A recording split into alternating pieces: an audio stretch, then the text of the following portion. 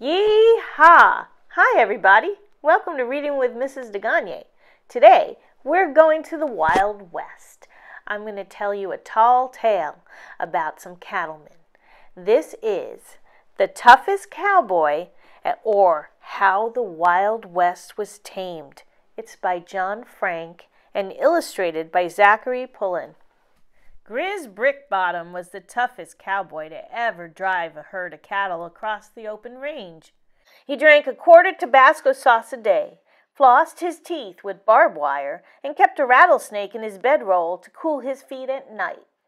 Grizz was so tough he could grind a branding iron into a belt buckle with the stubble on his chin.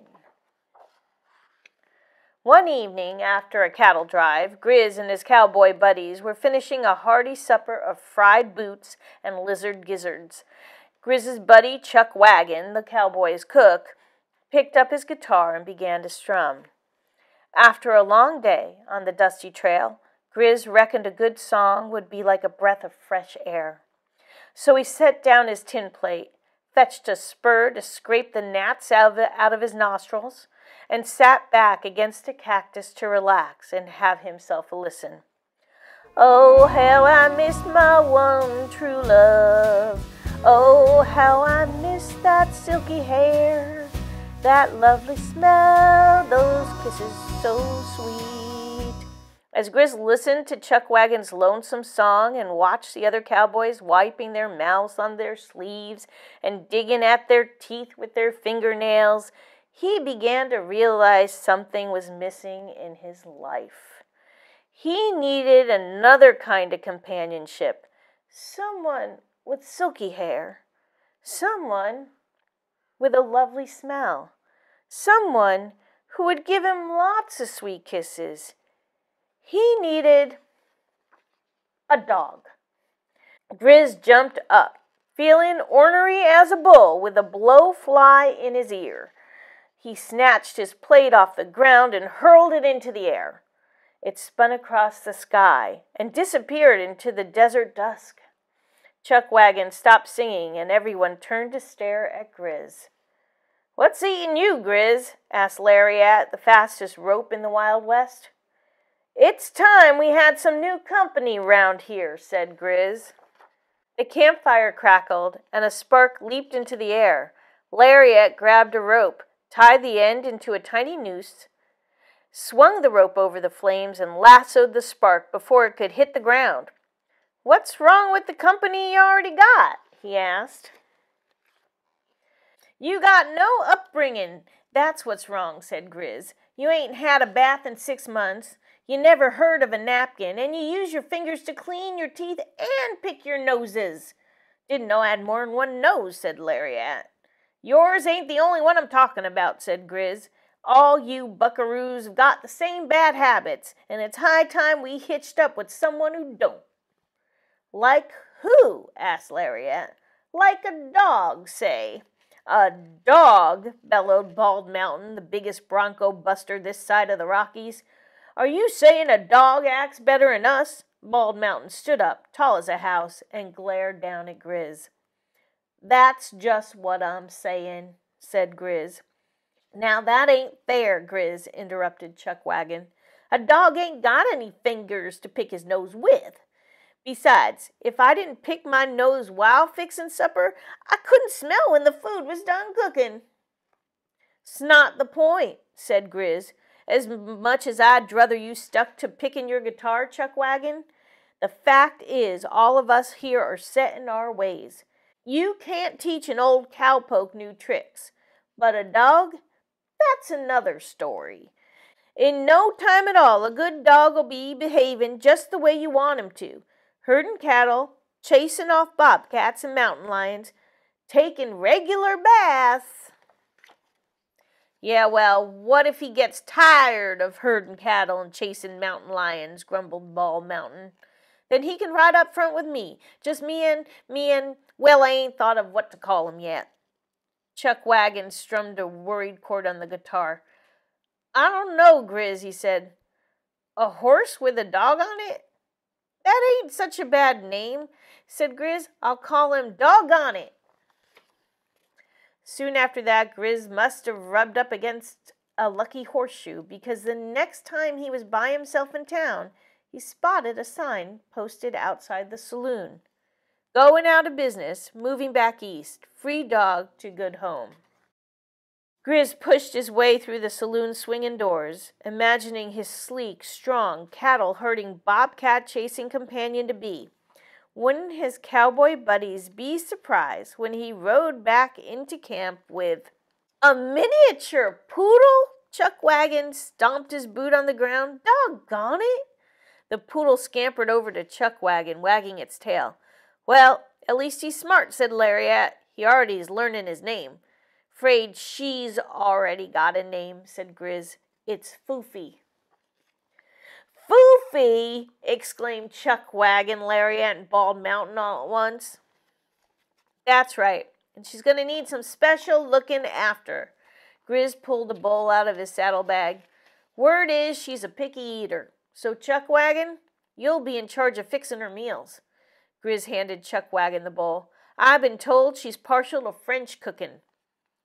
I've got a cook for a dog, said Chuck Wagon. And keep your guitar tuned, said Grizz, because she needs to be sung to sleep in that. But not before someone takes care of her hair, he added, reaching into the bag and taking out a brush. That'll be your job, Bald Mountain. My job, roared Bald Mountain, and he threw his hat down into the dirt. Bald Mountain may have been as tall as a house, but without his hat on, he didn't have much of a roof on top. I don't know how to use a hairbrush. And when you're done, continued Grizz, she'll need to have these ribbons tied behind her ears. That'll be your department, Lariat. Ribbons, said Lariat. My specialty is tying ropes, Grizz. Then you can make her a new leash once you're finished. In the meanwhile, I've got some cattle herding to teach. Come on, Foofy. Grizz headed off with Foofy at his side. Chuckwagon, Bald Mountain, and Lariat stood there with their arms crossed, sour as unripe prickly pears. That dog can fix her own dang meal, said Chuckwagon. And comb her own dang hair, said Bald Mountain. And tie her own dang ribbons, said Lariat. Come back here, Foofy, yelled Grizz from the distance. A dang cow ain't gonna hurt you. A short time later, Grizz came back, dragging his heels. Foofy padding behind. This dog just ain't of a mind to herd cattle, he said. Nothing to fret over, though. After supper, I'm going to teach her to chase mountain lions. As Grizz fetched a tin plate, a mouse popped out of a hole in the ground and scurried past Foofy. Foofy let out a whimper, then ran and hid behind Bald Mountain. Better be a pretty small mountain lion, said Lariat. Fooey, Foofy, said Grizz. I took a big gamble bringing you out here on the range. Grizz hurled the supper plate in disgust. It spun across the sky, level as a silver dollar on a poker table. Suddenly, quick as a jackrabbit, Foofy took off after the plate. And as the plate glided down in the far distance, ready to hit the ground, she caught it in her mouth. Foofy came trotting back with the plate and dropped it at Grizz's feet. Bald Mountain dropped his jaw. Lariat dropped his rope. Chuckwagon dropped his finger from his nose. Well, I'll be dipped in horse droppings, said Grizz. Before you could say, don't squat with your spurs on, the cowboys were jostling to toss a tin plate for Foofy, and soon they were throwing the plate to each other, too. By sundown, they were having more fun than a young'un of a wrangler at his first rodeo. Finally, after Bald Mountain heaved the plate so far that it looked as if it might knock the evening star right out of the sky, Chuckwagon said, Why, Foofy ain't even been fed yet. I'm going to cook her the finest supper that's ever been made. And when she's ready for bed, I'm going to sing her the sweetest lullaby that's ever been sung but not before I've brushed her hair, boomed Bald Mountain. All this running has mussed it up. And Lariat said, Just make sure you do a good job of it, Bald Mountain, 'cause I want it, that hair sh- shining like silk when I tie my ribbons in it. As the days passed, the cowboys continued to take care of Foofy. They fed her and sang to her and brushed her hair and tied it with ribbons and gave her regular baths. They became so fond of the smell of soap that they even moved to town just so they could take regular warm baths themselves. While there, Chuck Wagon opened a gourmet restaurant, one with tablecloths and linen napkins, and sang to the customers when he wasn't busy in the kitchen. And Bald Mountain, well, he became the town's first professional hairdresser. Lariat opened a gift shop where he sold rope holders for hanging potted plants and charged extra for wrapping presents with fancy bows. And as for Grizz, he started a business manufacturing his own flying plates. He branded his first name and last initial on the bottom of each one, Grizz B. And before long, folks were lining up all across the frontier to buy his product.